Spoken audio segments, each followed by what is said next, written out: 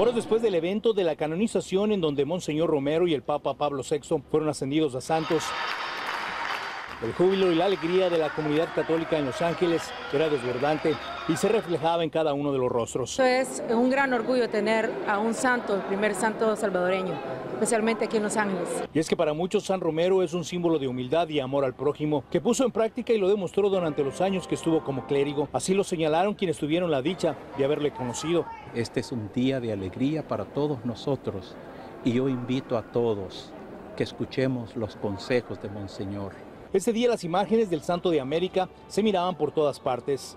La fe de miles de sus seguidores es tal que por años ha sido venerado y hoy más que nunca, después de que oficialmente ha sido nombrado como santo. Me siento, como le digo, muy contenta, muy agradecida con Dios por habernos dado este regalo de un hombre santo y que eso nos motiva a ser mejores. Y con cánticos y danzas, los presentes en la Catedral de Los Ángeles festejaron y dieron gracias por el nombramiento de San Romero, quien seguirá siendo venerado por sus seguidores por la eternidad.